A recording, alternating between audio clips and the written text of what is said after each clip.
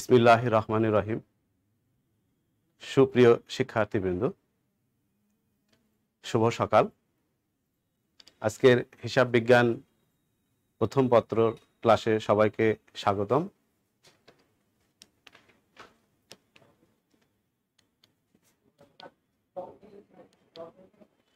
আজকের ক্লাস পরিচালনায় আছে আমি মোহাম্মদ মমতাজউদ্দিন মোল্লা, সহকারী অধ্যাপক, হিসাব বিজ্ঞান বিভাগ, রাজশাহী কলেজ, রাজশাহী। আজকে আমি তোমাদের সাথে যে বিষয়টা নিয়ে আলোচনা করব,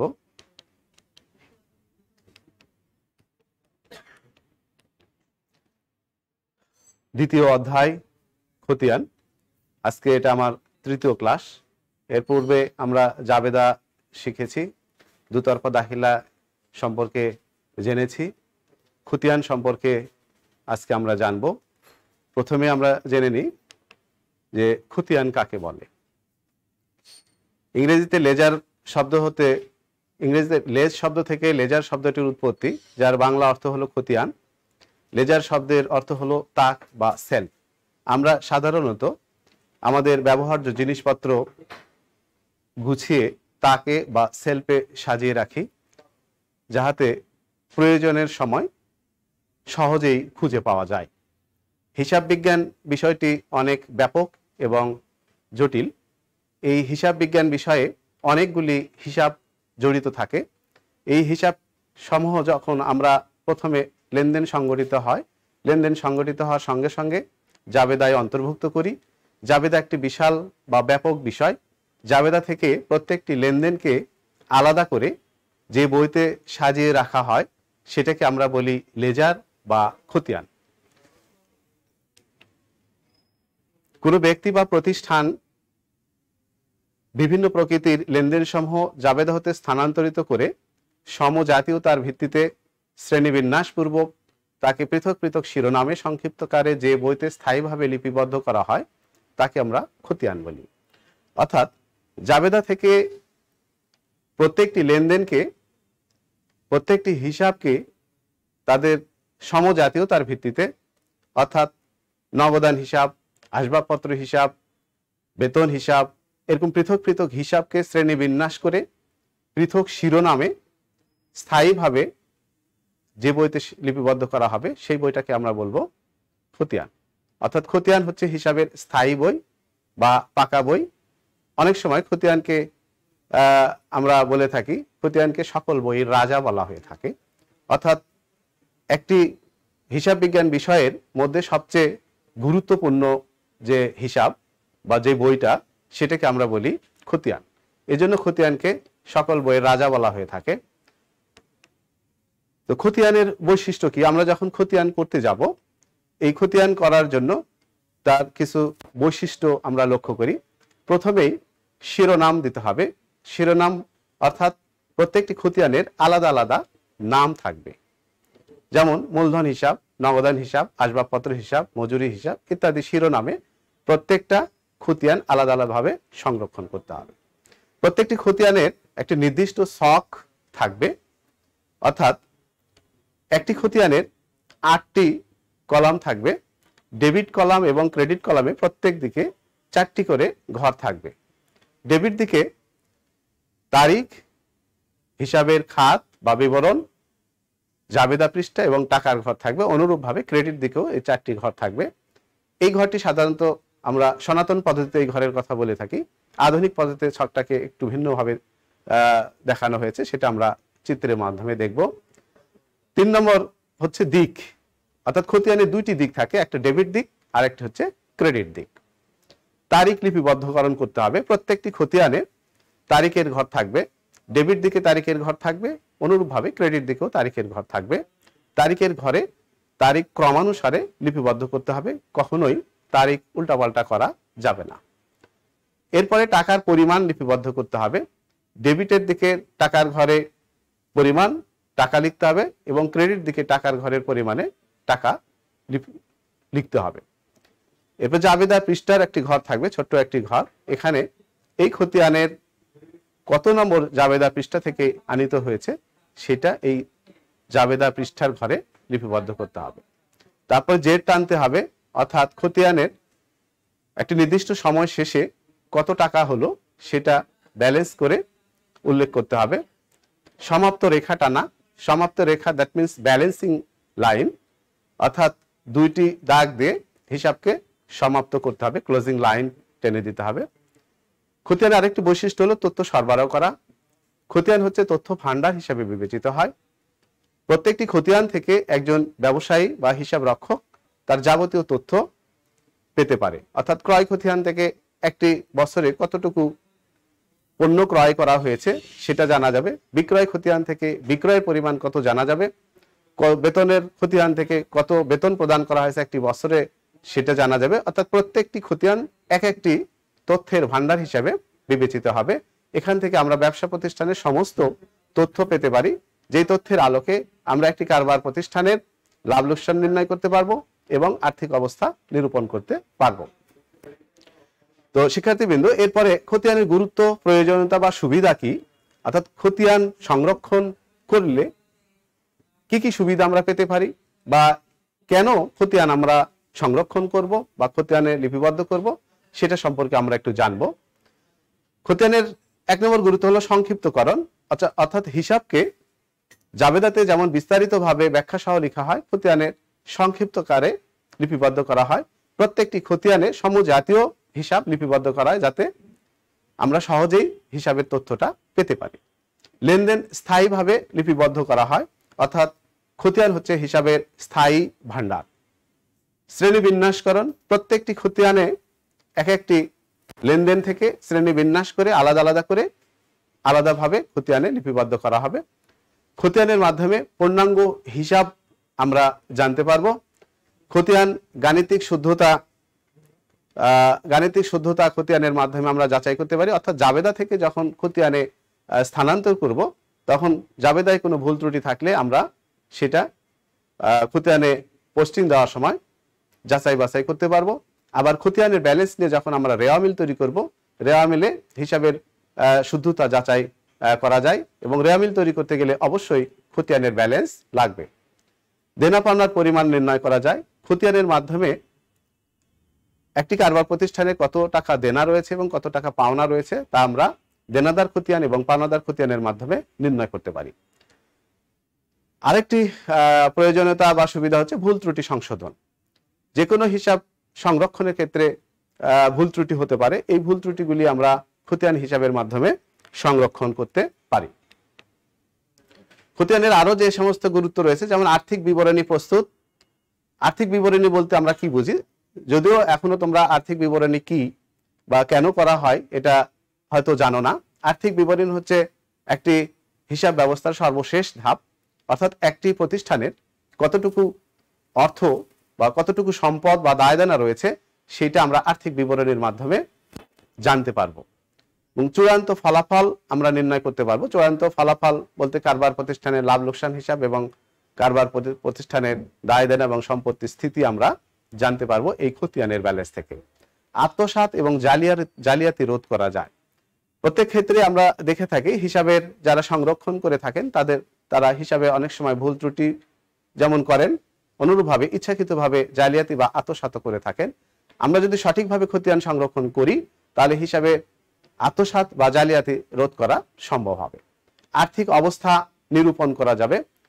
আর্থিক বিবরণী প্রস্তুত করার মাধ্যমে আসলে আমরা আর্থিক অবস্থা নির্ণয় করতে পারি। অর্থাৎ একটি কারবার প্রতিষ্ঠানের আর্থিক অবস্থা ভালো না খারাপ, তা আর্থিক বিবরণী প্রস্তুতের মাধ্যমে, অর্থাৎ এই খতিয়ান হিসাবের মাধ্যমে আমরা জানতে পারব। তুলনামূলক বিচার বিশ্লেষণ করা যাবে। অর্থাৎ এবছর আমরা যে হিসাব সংরক্ষণ করেছি, যে কারবারে যে আর্থিক অবস্থা বিগত বছরের সাথে আমরা তুলনা করতে পারব। যেহেতু খতিয়ান একটি বছরের জন্য করা হয়ে থাকে, বিগত বছরের খতিয়ানের সাথে তুলনা করেই আমরা একটি তুলনামূলক চিত্র কারবারের জন্য তুলে ধরতে পারব। পরিচালনা এবং সিদ্ধান্ত গ্রহণ। একটি কারবার প্রতিষ্ঠান পরিচালনা করার জন্য অনেকগুলি এলিমেন্টস বা ইনফরমেশন প্রয়োজন হয়। তার মধ্যে আমরা ধরে নিতে পারি যে নগদ টাকার প্রয়োজনীয়তা। একটি কারবার প্রতিষ্ঠানে কতটুকু নগদ টাকা রয়েছে সেটা আমরা নগদান বহি সংরক্ষণের মাধ্যমে নগদ এর অর্থের পরিমাণ আমরা জানতে পারি। আর নগদ টাকার মাধ্যমে আমরা কারবার পরিচালনার জন্য গুরুত্বপূর্ণ সিদ্ধান্ত গ্রহণ করতে পারি। গুরুত্বপূর্ণ তথ্য সরবরাহ করা, অর্থাৎ খতিয়ানের মাধ্যমে কারবারে যাবতীয় এবং গুরুত্বপূর্ণ তথ্য, যে সমস্ত তথ্যের প্রয়োজন হয় একটি কারবারকে সুচারুরূপে পরিচালনা করার জন্য, সেই সকল তথ্য, সকল তথ্যই আমরা এই খতিয়ানের মাধ্যমে পেতে পারি। সুপ্রিয় শিক্ষার্থীবৃন্দু, তাহলে খতিয়ানের শ্রেণি বিভাগটা আমরা একটু জেনে নিই। খতিয়ানকে কত ভাগে ভাগ করা হয়েছে? খতিয়ানকে প্রথমত দুই ভাগে ভাগ করা হয়েছে। ব্যক্তিবাচক, অব্যক্তিবাচক। ব্যক্তিবাচক মিন্স পার্সোনাল এবং অব্যক্তিবাচক অব্যক্তিবাচক বা ইম্পার্সোনাল ব্যক্তিবাচক হিসাবকে আমরা দুই ভাগে ভাগ করে থাকি, দেনাদার এবং পাওনাদার। আর অব্যক্তিবাচক হিসাবকে আমরা দুই ভাগে ভাগ করেছি, সম্পত্তি ও দায় সংক্রান্ত হিসাব। এবং নামিক হিসাব। এই প্রত্যেকটি হিসাবকে আলাদা আলাদা করে খতিয়ানের শ্রেণি অনুযায়ী আমরা আলাদা করে এটা বিশ্লেষণ করব। খতিয়ান তৈরি করার নিয়মাবলীটা আমরা একটু জেনে নিই। সুপ্রিয় শিক্ষার্থীবৃন্দ, খতিয়ান তৈরি করতে গেলে কিছু কিছু অ্যাব্রোভিয়েশন বা শব্দ সংক্ষেপ আমাদের জানতে হয়। এই হিসাবের যে নির্ণয়ের সময় যে সমস্ত শব্দ সংক্ষেপ ব্যবহৃত হয়, সেগুলি সম্পর্কে আমরা একটু এক নজরে জেনে নিই। এক নম্বরে আছে দেখো ব্রড ডাউন বিডি আমরা অনেকেই বিডি জানি, কিন্তু এর ফুল ফর্মটা জানি না। বিডি হচ্ছে ব্রড ডাউন যেটা উপর থেকে নিচে আনিত হয়েছে। বিও বিও ব্রড ওভার এটা পূর্ব পৃষ্ঠা থেকে আনিত ক্ষেত্রে এই বিও ব্যবহার করা হয়। ব্রড ফরওয়ার্ড পূর্বের জেটটাকে বর্তমান পৃষ্ঠায় নিয়ে আসার জন্য বিএফ ব্যবহার করা হয়। অনুরূপভাবে carried down CD carried over CO এবং ক্যারিড ফরওয়ার্ড চার, পাঁচ এবং ছয় নম্বর এই শব্দ সংক্ষেপগুলি ক্রেডিট দিকের ব্যবহার করা হয়। আর আর এক, দুই, তিন এগুলো হচ্ছে ডেবিট দিকের জন্য ব্যবহার করা হয়ে থাকে। খতিয়ান তৈরি করার জন্য আরও কিছু নিয়ম রয়েছে। আমরা সেই নিয়মগুলি একটু জানব, তারপরে আমরা আজকে খতিয়ান তৈরি করা শিখব। খতিয়ান হিসাব প্রস্তুতের নিয়মাবলীর মধ্যে রয়েছে, জাবেদার ভুক্তিকরণের পর হিসাবের শিরোনাম স্থির করতে হবে। অর্থাৎ কোনো লেনদেন সংগঠিত হওয়ার সঙ্গে সঙ্গে আমরা প্রথমেই জাবেদা বইতে সংরক্ষণ করি। জাবেদা বই থেকে খতিয়ানের শিরোনাম অনুযায়ী আমরা প্রত্যেকটি খতিয়ানের আলাদা আলাদা শিরোনাম দিয়ে খতিয়ান বই প্রস্তুত করব।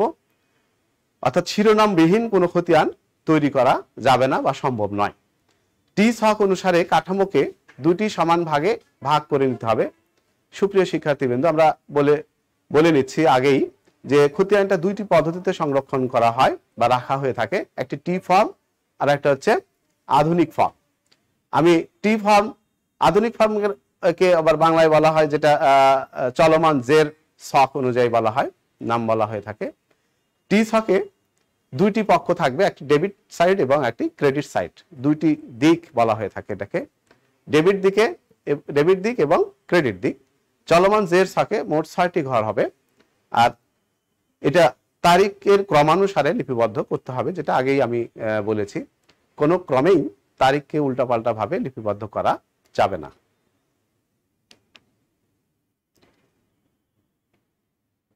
লেনদেনের প্রকৃতি অনুসারে ডেবিট ক্রেডিট নির্ণয় করতে হবে। প্রত্যেকটি লেনদেন ডেবিট ক্রেডিট নির্ণয়পূর্বক খতিয়ানে লিপিবদ্ধ করতে হবে। ডেবিট ক্রেডিট নির্ণয়ের নিয়মাবলী আমি প্রথম ক্লাসেই তোমাদের শিখিয়েছি, আশা করি তোমাদের মনে আছে। যদি ভুলে যেয়ে থাকো, তাহলে আবার একটু আমরা স্টাডি দিয়ে নেব, পিছনে দেখব। ছয় নম্বর হচ্ছে টি ছকে সবসময় লেনদেন লেখা শেষে জের বা ব্যালেন্স টানতে হয়, অর্থাৎ যোগ করতে হবে। একটি মাসের বা একটি বছরের হিসাব খতিয়ানে লিপিবদ্ধ করার হয়ে গেলে সেটা টোটাল ব্যালেন্সটাকে আমরা নেম- নামাতে হবে, যোগ করতে হবে। সব খতিয়ানের পৃথকভাবে বন্ধ করার জন্য উভয় দিকের যোগফলের নিচে দুইটি করে সমান্তরাল রেখা টানতে হবে।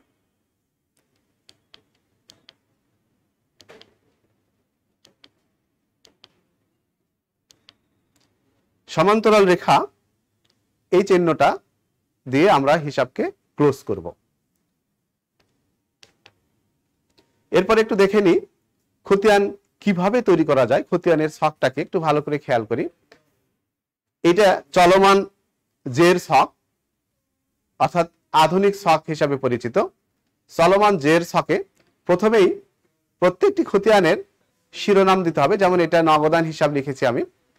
তারিখ, এর ঘর একটি থাকবে, বিবরণ থাকবে, জাবেদা পৃষ্ঠা, ডেবিট টাকা, ক্রেডিট টাকা। এরপরে শেষে জের থাকবে ডেবিট জের এবং ক্রেডিট জের। চলমান জের ছকে ব্যালেন্সিং করার প্রয়োজন হয় না এবং সিডি বা বিডি টানার প্রয়োজন হয় না, কারণ প্রত্যেকটা লেনদেন সংগঠিত হওয়ার সঙ্গে সঙ্গে এখানে স্বয়ংক্রিয়ভাবে ব্যালেন্স হয়ে যায়। এই পদ্ধতিতে সাধারণত এখন ডিজিটাল যে ব্যাংকিং পদ্ধতি, সেই ব্যাংকিং পদ্ধতি এই পদ্ধতিতে সংরক্ষণ করা হয়ে থাকে। এই ছকটাকে আমরা চলমান জের ছক বলে থাকি। দ্বিতীয়ত, সনাতন ছক বা ট্র্যাডিশনাল টি ছক যেটাকে বলি আমরা। টি ছকের দুইটি দিক থাকবে। এটাও নবদান হিসাব আমি দিয়েছি। একটি ডেবিট সাইট আর একটি ক্রেডিট সাইট খেয়াল করো ভালো করে। ডেবিট সাইডে তারিখ, বিবরণ, জাবেদা পৃষ্ঠা, টাকা। এই চারটি ঘর থাকবে। অনুরূপভাবে ক্রেডিট সাইডে সাইডে তারিখ, বিবরণ, জাবেদা পৃষ্ঠা এবং টাকার ঘর, চারটি ঘর থাকবে। এই দুইটি ভাগে এটাকে ভাগ করা হয়েছে। এটাকে দুটি দিক বলা হয়, একটা ডেবিট দিক, একটা ক্রেডিট দিক। আরও বাংলা ভাবে বললে গেলে একটা জমা এবং একটা খরচের সাইট। আমরা ছক দেখে নিলাম কীভাবে আমরা খতিয়ান করব। এই দুইটি শখ খুব ভালো করে মনে রাখতে হবে। শখ যদি আমরা মনে রাখতে না পারি, তাহলে খতিয়ান করতে পারব না। এরপরে আমরা একটি অঙ্ক দেখব। সুপ্রিয় শিক্ষার্থীবৃন্দ, আজকে আমরা একটি অঙ্ক প্র্যাকটিস করব। সবাই খাতা কলম বের করো। মোহাম্মদ শাকিল একজন ব্যবসায়ী। তিনি ঈশা এন্টারপ্রাইজ নামে এক জানুয়ারি দু হাজার ষোলো সালে একটি ব্যবসা শুরু করেন। উক্ত মাসে তার নিম্নলিখিত লেনদেনগুলো সম্পন্ন হয়েছিল। জানুয়ারি এক তারিখ, নগদ এক লক্ষ টাকা এবং পঞ্চাশ হাজার টাকা মূল্যের আসবাবপত্র মূলধন স্বরূপ আনয়ন করেন। তিন তারিখে নগদে মাল বিক্রয় চল্লিশ হাজার টাকা পাঁচ তারিখ নগদে মাল ক্রয় সত্তর হাজার টাকা, সাত তারিখ নগদ বেতন প্রদান পাঁচ হাজার টাকা, সোনালী ব্যাংকে জমা দেওয়া হলো দুই হাজার টাকা এবং কমিশন প্রাপ্ত হয়েছে পাঁচ, পাঁচশত টাকা। এটা থেকে প্রথমে আমাদের জাবেদা করতে হবে। জাবেদা ছাড়াও খতিয়ান করা সম্ভব, তবে এই মুহূর্তে তোমাদের জন্য তা অত্যন্ত কঠিন হয়ে যাবে। কাজেই আমরা এই অঙ্কটাকে সৃজনশীল পদ্ধতিতে সাজিয়েছি। সৃজনশীল পদ্ধতিতে তিনটি করে প্রশ্ন থাকবে। প্রথম, ক নম্বরে যেটা থাকবে, সেটা দুই নম্বরের। যেমন প্রারম্ভিক মূলধনের পরিমাণ নির্ণয় করো, উপযুক্ত লেনদেন থেকে জাবেদা তৈরি করো, ঈশা এন্টারপ্রাইজ টি ছকের মাধ্যমে নগদান হিসাব, মূলধন হিসাব, আসবাবপত্র এবং বেতন হিসাব প্রস্তুত করো। আজকে আমাদের আলোচনার বিষয় অ্যাকচুয়ালি খতিয়ান প্রস্তুত করা, জাবেদা প্রস্তুত করা নয়। কিন্তু জাবেদা না করলে আমরা খতিয়ান প্রস্তুত করতে পারব না। সেহেতু আমরা জাবেদাও করব এবং প্রারম্ভিক মূলধনের পরিমাণও নির্ণয় করব। এই তিনটি হচ্ছে আমাদের করণীয় বিষয়। পরীক্ষায় সাধারণত প্রশ্ন এই তিনটি ফর্মে থাকবে, যার মান বন্টন তোমরা ইতোমধ্যে জেনেছো। দুই, চার এবং চার। টোটাল দশ নম্বর। আমরা অঙ্কটা আবার একটু দেখে নিই।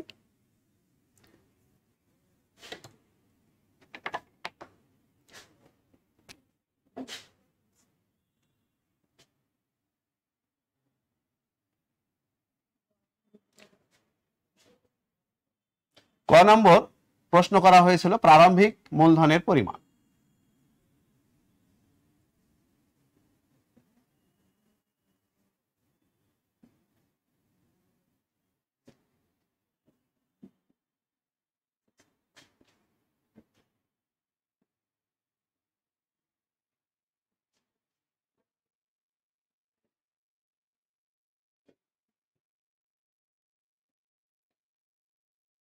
প্রারম্ভিক মূলধনের পরিমাণ নির্ণয় করতে গেলে স্পেসিফিক কোনো শখ আঁকার, আঁকানোর প্রয়োজন নয়।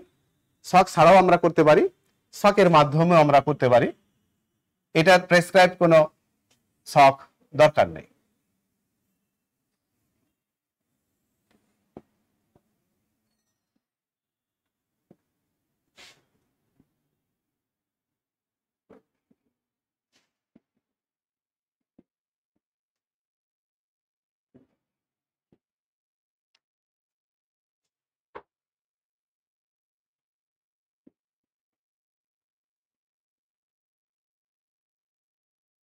দুই হাজার ষোলো সালে জানুয়ারি এক তারিখে নগদ এক লক্ষ টাকা এবং পঞ্চাশ হাজার টাকার আসবাবপত্র মূলধন স্বরূপ আনা হয়েছিল। আমাদেরকে মূলধন নির্ণয় করতে বলা হয়েছে। তাহলে নগদ টাকা, জানুয়ারি এক তারিখে নগদ এক লক্ষ টাকা।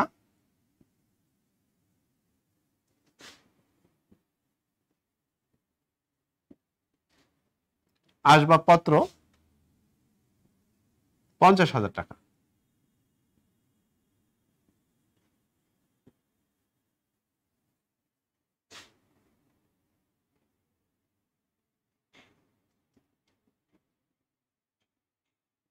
সর্বমোট এক লক্ষ পঞ্চাশ হাজার টাকা প্রারম্ভিক মূলধনের পরিমাণ। যদিও আজকে আমরা খতিয়ান নিয়ে আলোচনা করছি, কিন্তু সৃজনশীল পদ্ধতিতে অনেক সময় খতিয়ানের মধ্যেও অন্য কোনো রিকোয়ারমেন্ট চাওয়া হতে পারে, সেটা আমাদেরকে করতে হবে। এরপরে খ নম্বরে আমাদের চাওয়া হয়েছে জাবেদা তৈরি করা। তো সুপ্রিয় শিক্ষার্থীবৃন্দ, আমরা জাবেদা ছক করতে জানি সবাই। আমরা এখন জাবেদা শুরু করব।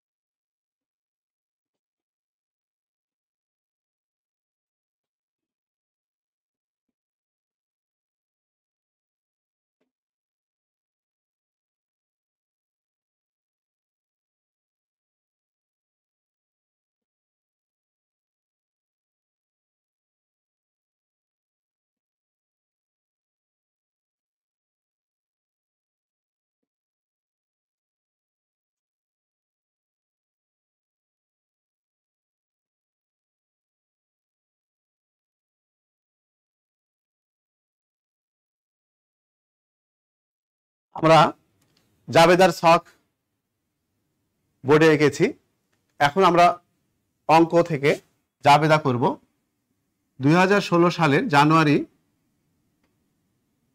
এক তারিখে যে ট্রানজেকশনটা আছে, একটু লক্ষ্য করি। নগদ এক লক্ষ টাকা এবং পঞ্চাশ হাজার টাকা মূল্যের আসবাবপত্র মূলধন স্বরূপ আনয়ন করেন।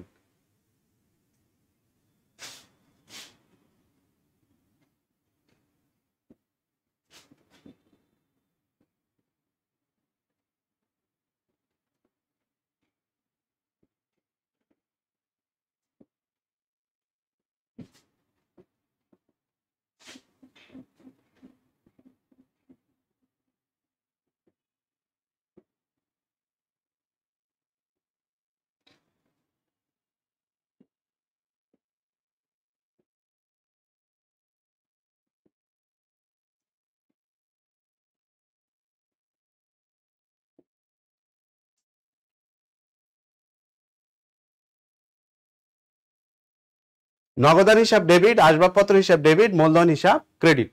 এই জাবেদা আমরা জাবেদা চ্যাপ্টারে জেনেছি। আরেকটা বিষয় মনে রাখব, প্রত্যেকটা জাবেদা করার সময় সংক্ষিপ্ত ব্যাখ্যা দিতে হবে। যেমন নগদ টাকা এবং আসবাবপত্র, মূলধন স্বরূপ আনয়ন করা হলো। এই ব্যাখ্যাটা আমরা এখানে লিখতে লিখব না আজকে এই জন্য যে আমরা মূল বিষয় যেটা খতিয়ান খতিয়ান আলোচনা করতে গেলে ব্যাখ্যা দিতে হলে আমাদের সময় কুলাবে না। আমরা এই জন্য জাবেদার ব্যাখ্যাটা মুখে বলে দেব। তোমরা খাতায় লিখে নেবে যে নগদ অর্থ এবং আসবাবপত্র মূলধন স্বরূপ আনয়ন করা হলো। এরপরে জানুয়ারি তিন তারিখ নগদে মাল বিক্রয় করা হলো। মাল বিক্রি করলে যে জাবেদা হয়, নগদ টাকা কারবারে আসে, নগদান হিসাব ডেবিট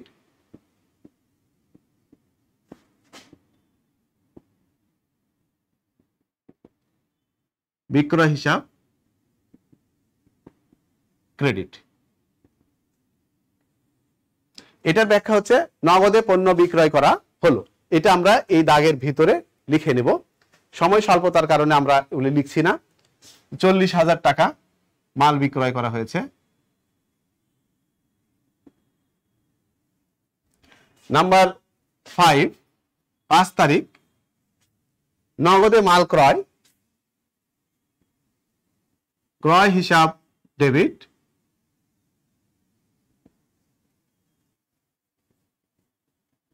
নগদান হিসাব ক্রেডিট। যেহেতু নগদে পণ্য ক্রয় করা বা মাল ক্রয় করা হলো, পরিমাণ সত্তর হাজার টাকা।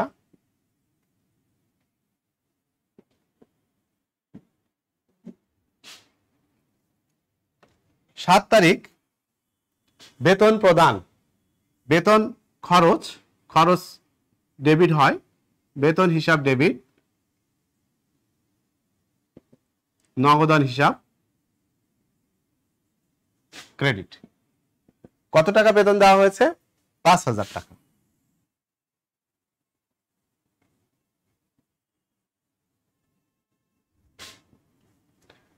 সোনালী ব্যাংকে জমা দেওয়া হলো দুই হাজার টাকা।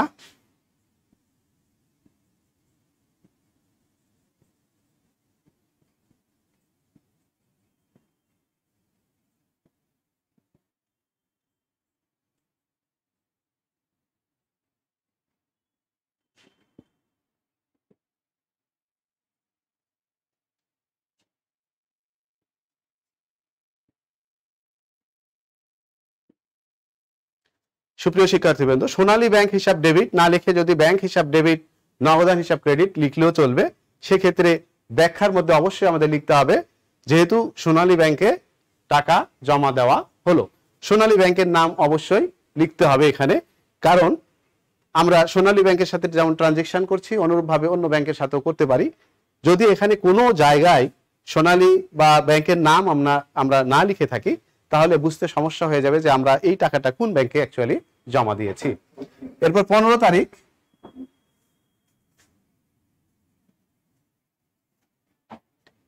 কমিশন প্রাপ্ত পাঁচশত টাকা। কমিশন পেলে কি হয়? নগদ টাকা বৃদ্ধি পায়। নগদান হিসাব ডেবিট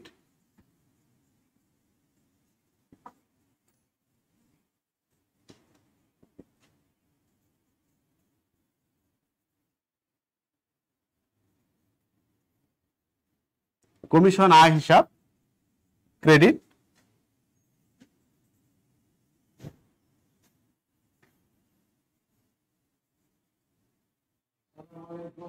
পাঁচশো টাকা। যেহেতু কমিশন পাওয়া গেল। এই কয়টা হচ্ছে আমাদের জাবেদা। এই জাবেদা থেকে আমরা খতিয়ান তৈরি করব। একটু খেয়াল করো, বৈশিষ্ট্যের মধ্যে আমরা উল্লেখ করেছি যে তারিখের ক্রমানুসারে হতে হবে। কখনোই পনেরো তারিখেটা এক তারিখে বা এক তারিখেটা দশ তারিখে এরকম লিখা যাবে না। এই তারিখটাকে অবশ্যই ক্রনোলজিক্যালি লিখতে হবে। আমরা এটা একটু মুছে দিলাম।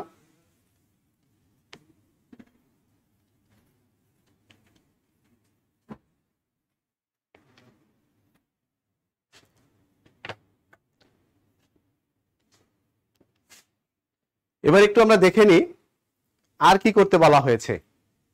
প্রারম্ভিক মূলধনের পরিমাণ আমরা ক নম্বরে নির্ণয় করেছি। এটা খ নম্বর ছিল আমাদের রিকোয়ারমেন্টের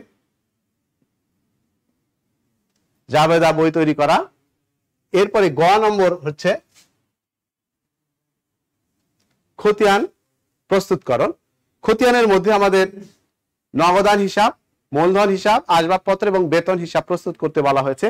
চারটি খতিয়ানের ছক আমরা টি ফর্মে আঁকে নিই।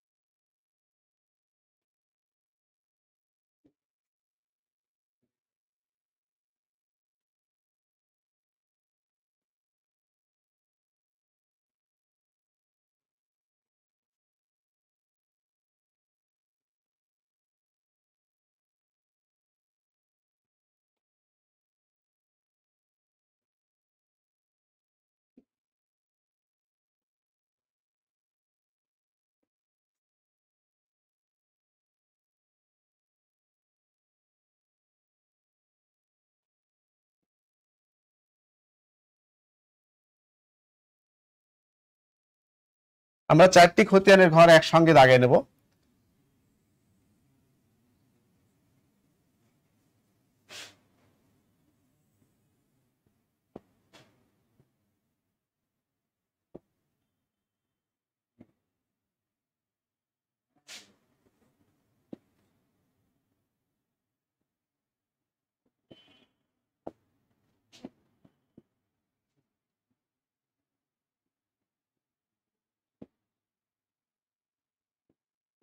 জাবেদা পৃষ্ঠা, বিবরণ, তারিখ। টাকা, জাবেদা পৃষ্ঠা, বিবরণ, তারিখ। আমরা শিরোনামগুলি পরবর্তীতে শিরোনাম দেব।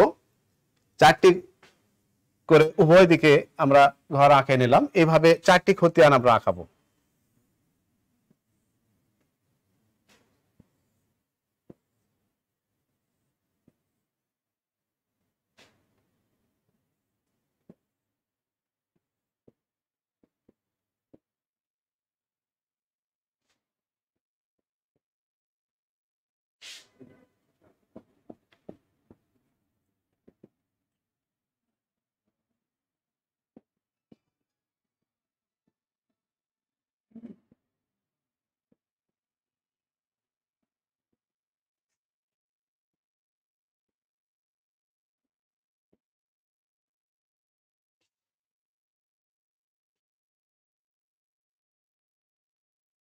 বোর্ড কি দেখা যাবে নিচে?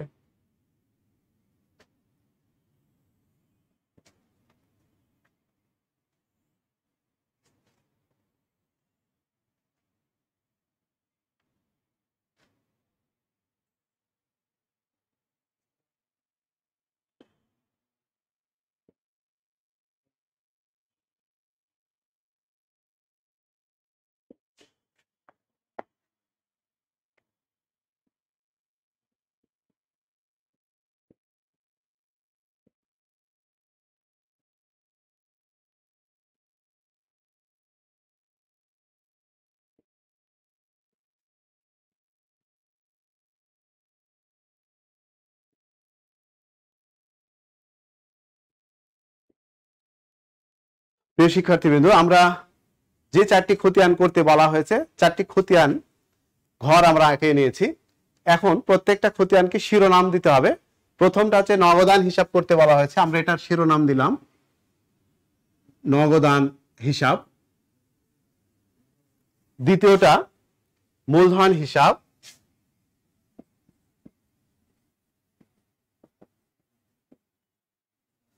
তৃতীয় আসবাবপত্র হিসাব এবং বেতন হিসাব।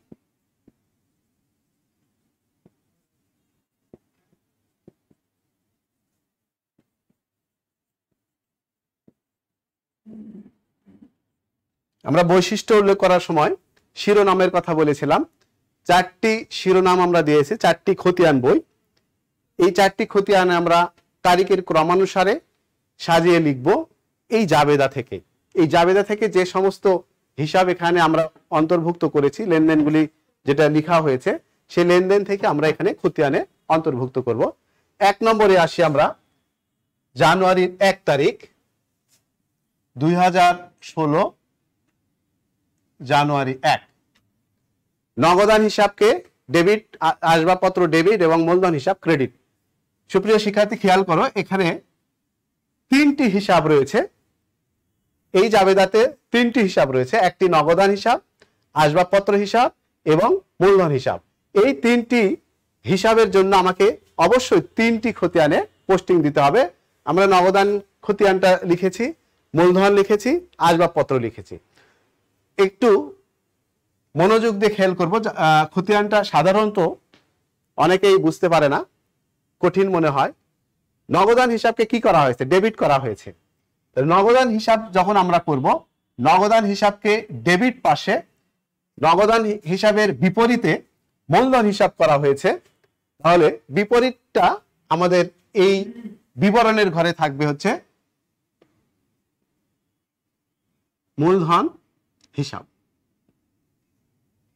নগদান হিসাব যখন খুলবো নগদেন নগদান বইতে নগদের নাম কখনোই আসবে না। নগদান হিসাবের বিপরীতে মূলধন লেখা হয়েছে কত? এক লক্ষ টাকা। ভুলবশত মূলধন হিসাবে যে এক লক্ষ পঞ্চাশ দেখানো হয়েছে, সেটা কিন্তু আমরা লিখব না। এক লক্ষ টাকা লিখব কারণ নগদ নগদান হিসাবের বিপরীতে, নগদান হিসাবের সাথে যে টাকার পরিমাণটা লেখা হয়েছে এক লক্ষ টাকা, সেই টাকার পরিমাণটা আমরা এখানে মূলধন হিসাবে লিখব। কারণ এখানে দুইটি মূলধন হিসাব না লিখে মূলধন হিসাবকে একসঙ্গে এক লক্ষ পঞ্চাশ হাজার লেখা হয়েছে, যেহেতু আসবাবপত্র মূলধন হিসাবে নিয়ে আসা হয়েছে। আচ্ছা এরপরে আসবাবপত্র হিসাব আমরা খুলবো। আসবাবপত্র হিসাবে এখানে খোলা আছে। আসবাবপত্র হিসাবে দুই হাজার ষোলো সালে জানুয়ারি এক তারিখে আসবাবপত্র ডেবিট পাশে আসবে। আসবাবপত্র ডেবিট করা আছে। ক্রেডিট পাশে কি আছে? মূলধন। আমরা এখানে মূলধন লিখব। আসবাবপত্রটা কি হিসাবে নিয়ে আসছে? মূলধন হিসাবে নিয়ে আসা হয়েছে। পরিমাণ কত? পঞ্চাশ হাজার টাকা। আসবাবপত্র নিয়ে আসা হয়েছে পঞ্চাশ হাজার টাকা। এই দুইটি নগদান এবং আসবাবপত্রে আমরা পোস্টিং দিয়েছি। এরপরে এই জাবেদা থেকে মূলধন হিসাব একটি খুলতে হবে। মূলধন হিসাব দুই হাজার ষোলো সালে জানুয়ারি এক। খেয়াল করি, মূলধন যেহেতু ক্রেডিট করা আছে, মূলধন ক্রেডিট দিকে আছে, অতএব এই মূলধন হিসাবে এসে আমাকে ক্রেডিট দিকে লিখতে হবে। কার নাম লিখতে হবে? এর বিপরীতে যেটা যে দুটি জাবেদা আছে, যে দুটি হিসাব খাত রয়েছে, সেই দুটির নাম লিখতে হবে। এক নম্বর, নগদান। দুই নম্বরে আছে আসবাবপত্র। নগদান কত টাকা রয়েছে? এক লক্ষ টাকা। আসবাবপত্র আছে পঞ্চাশ হাজার টাকা। অর্থাৎ মূলধন হিসেবে আমরা কি নিয়ে এসেছি? নগদ টাকা নিয়ে এসেছি এবং আসবাবপত্র নিয়ে এসেছি। নগদ টাকার পরিমাণ এক লক্ষ আসবাবপত্র পঞ্চাশ হাজার। এক নম্বর জাবেদার জানুয়ারি এক তারিখে যে জাবেদাটা আমরা দিয়েছি, সেই জাবেদাটা আমরা পোস্টিং দিয়েছি। কারণ এইটা আর আমাদের প্রয়োজন নেই। এরপরে তিন তারিখে নগদান হিসাব এবং বিক্রয় হিসাব আসছে। তাহলে নগদান হিসাবে আবার আমাদের দিতে হবে। নগদানকে কি করা হয়েছে তিন তারিখে? জানুয়ারি তিন নগদান হিসাবে ডেবিট করা হয়েছে। বিপরীতে কি আছে? বিক্রয়। নগদে বিক্রয় করলে আমাদের টাকার পরিমাণ বাড়ে। কত টাকা আসছে? চল্লিশ হাজার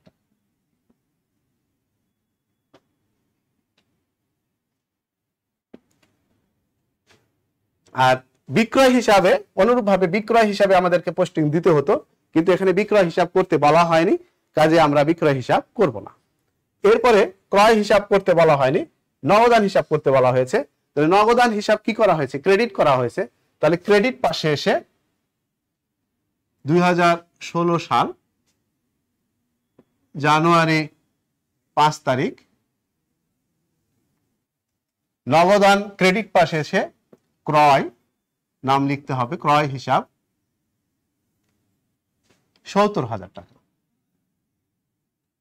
আমাদের পাঁচ তারিখ পর্যন্ত পোস্টিং শেষ, এরপরে বেতন হিসাব। একটু খেয়াল করি, বেতন এবং নগদান দুইটি খতিয়ানি করতে বলা হয়েছে। এবং আমরা দুইটি খতিয়ানের ছক এঁকেছি। প্রথমে বেতনে আমরা পোস্টিং দেব। বেতনকে কি করা হয়েছে? ডেবিট। বেতনের ডেবিট পাশে আমরা লিখব, কার নাম লিখব? নগদের নাম লিখব। বেতন, বেতনের অপোজিটে কি আছে? নগদ। তারিখ, সাত। জানুয়ারি, সাত তারিখ।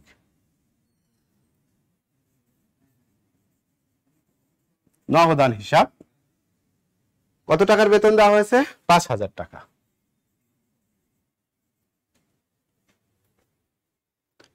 তাহলে নগদান হিসাব যখন আমরা করব, নগদের হিসাবে ক্রেডিট করা হয়েছে ক্রেডিট পাশে এসে জানুয়ারির সাত তারিখ কি দিয়েছি আমরা? বেতন। অপোজিট লেনদেনটা আমরা লিখে রাখব। বেতন কত দিয়েছি? পাঁচ হাজার। তাহলে সাত তারিখের যে লেনদেনটা ছিল, সাত তারিখে যে জাবেদাটা ছিল, সাত তারিখের জাবেদাটা আমরা দুইটি হিসাবে পোস্টিং দিয়েছি। এরপরে আসি আমরা দশ তারিখের। দশ তারিখে কি করা হয়েছে? সোনালী ব্যাংক হিসাব, ডেবিট, নগদান হিসাব, ক্রেডিট। এখানে একটি জাবেদার খতিয়ান করতে বলা আছে, সেটা হচ্ছে নগদান হিসাব। নগদান হিসাবটা কি করা আছে? ক্রেডিট করা আছে। তাহলে নগদান হিসাবে আমাকে ক্রেডিট পাশে আসতে হবে। ক্রেডিট পাশে এসে দশ তারিখ, বিপরীতে কি আছে? সোনালী ব্যাংক হিসাব। এখানে আমাদের ব্যাংক হিসাব বা সোনালী ব্যাংক হিসাব লিখতে হবে। ব্যাংক হিসাব। সোনালী ব্যাংকও তোমরা লিখতে পারো, সমস্যা নেই। জায়গা কমের জন্য আমি শুধু ব্যাংক হিসাব লিখলাম। ব্যাংক হিসাবে কত টাকা? দুই হাজার টাকা। তাহলে নগদান হিসাবটা আমরা এই দশ তারিখেটা পোস্টিং দিয়েছি। এরপরে হচ্ছে নগদান হিসাব এবং কমিশন আয়। আচ্ছা নগদান হিসাব কি করা হয়েছে? ডেবিট তাহলে নগদান হিসাবে ডেবিট পাশে এসে আমাকে লিখতে হবে তারিখ পনেরো কমিশন কমিশন কত টাকা? পাঁচশো টাকা। আমাদের জাবেদা থেকে প্রত্যেকটি লেনদেনের, যেই যেই লেনদেনের এগেনস্টে যেই সব জাবেদার এগেনস্টে আমাদেরকে খতিয়ান করতে বলা হয়েছে, সেই খতিয়ান আমরা তৈরি করেছি। এই খতিয়ান এখন আমাদেরকে ব্যালেন্স করতে হবে। সুপ্রিয় শিক্ষার্থীবৃন্দু ব্যালেন্স করতে গেলে নগদান হিসাবের যেই সাইডে টাকার পরিমাণ বেশি আছে, সেই সাইডটা আমাদের আগে যোগ করতে হবে। এক লক্ষ চল্লিশ হাজার পাঁচশো। চল্লিশ হাজার পাঁচশো টাকা ডেবিট সাইড এই দুইটি টান দেওয়াকে, এই দুইটি টান সমান্তরাল রেখাকে বলা হবে ব্যালেন্সিং ব্যালেন্সিং লাইন এই এক লক্ষ চল্লিশ হাজার পাঁচশো আমরা এই পাশে আবার লিখে নিই। এখন কথা হলো, এই এক লক্ষ চল্লিশ হাজার থেকে সত্তর, পঁচাত্তর হাজার ছিয়াত্তর হাজার টাকা আমাদের মাইনাস করতে হবে। এক লক্ষ চল্লিশ হাজার পাঁচশো থেকে সাতাত্তর হাজার টাকা মাইনাস করে এই জায়গায় আমাদের লিখতে হবে ব্যালেন্স সি ডি যেটা আমি দেখেছিলাম ক্যারিড ডাউন ক্যারিড ডাউন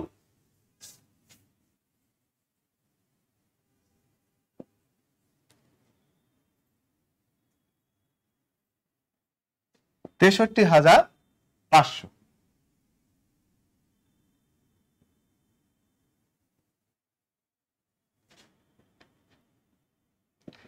এই ব্যালেন্সটা, এই যে এইটার তারিখ দিতে হবে জানুয়ারি মাসের একত্রিশ তারিখ, জানুয়ারি একত্রিশ। সবসময় যে ব্যালেন্স সিডি যেটা ব্যালেন্স হবে, সেটা সংশ্লিষ্ট মাসের শেষ তারিখটা উল্লেখ করতে হবে। এই তারিখটা কিন্তু দেওয়া থাকবে না। সংশ্লিষ্ট মাসের শেষ তারিখ। ফেব্রুয়ারি যদি হয়, তাহলে কিন্তু আমরা ভুলেও একত্রিশ লিখব না। এটা একটু খেয়াল রাখব। যে মাসের যত দিনে হয়, সেই তারিখটা আমরা লাস্টের ডেটটা এখানে লিখে রাখব। এখন এইটাকে পরের মাসে, জানুয়ারির পরের মাস কি হলো? ফেব্রুয়ারি। ফেব্রুয়ারির এক ব্যালেন্স বিডি ব্রড ডাউন পরের মাসে এই ব্যালেন্সটা তেষট্টি হাজার পাঁচশো আমরা লিখে রাখব। তেষট্টি হাজার পাঁচশো আসলে জায়গার স্বল্পতার জন্য সুন্দর করে দেখানো গেল না, কারণ নিচে আসলে দেখতে পাবে না। তেষট্টি হাজার পাঁচশো এটাকে খোলা রাখতে হবে, এর নিচে কখনোই দাগ দেওয়া যাবে না। অর্থাৎ এরপরে যখন ফেব্রুয়ারি মাসে যে খতিয়ান ট্রানজেকশনটা আমরা খতিয়ানে লিপিবদ্ধ করব, সেগুলো এরপর থেকে লিপিবদ্ধ হতে থাকবে। আচ্ছা এরপরে আমরা মূলধন হিসাবের ব্যালেন্সটা করে দেখি। মূলধন হিসাবে ক্রেডিট পাশের যোগফল আছে এক লক্ষ পঞ্চাশ হাজার টাকা। যেহেতু ডেবিট পাশে আর কিছু নেই, তাহলে এক লক্ষ পঞ্চাশ হাজার এই পাশে একটু লিখে নিই। দুই জানুয়ারি একত্রিশ ব্যালেন্স সিডি এক লক্ষ পঞ্চাশ হাজার টাকা। এই এক লক্ষ পঞ্চাশ হাজার এখানে এটাকে বলা হবে ব্যালেন্সিং ফিগার যেটা পরের মাসে ফেব্রুয়ারি এক ব্যালেন্স বিডি নাম দিয়ে আমরা এই ঘরের ভিতরেই লিখব। এক লক্ষ পঞ্চাশ হাজার। ওকে নেক্সট আসবাবপত্র হিসাবে আমরা ব্যালেন্সিং করব। আসবাবপত্র হচ্ছে পঞ্চাশ হাজার টাকা। এই পঞ্চাশ হাজার টাকা আমরা নামে নিলাম ডেবিট পাশে। দুই হাজার ষোলো জানুয়ারির এক, ব্যালেন্স বিডি, সিডি, পঞ্চাশ হাজার।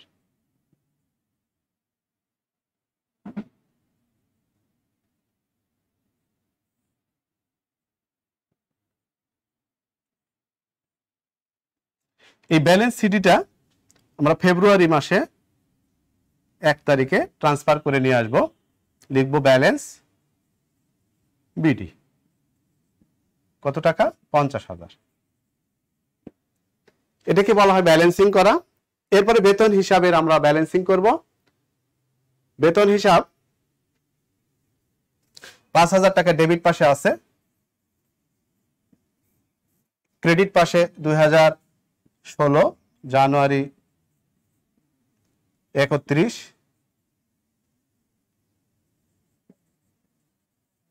ব্যালেন্স সিডি পাঁচ হাজার টাকা।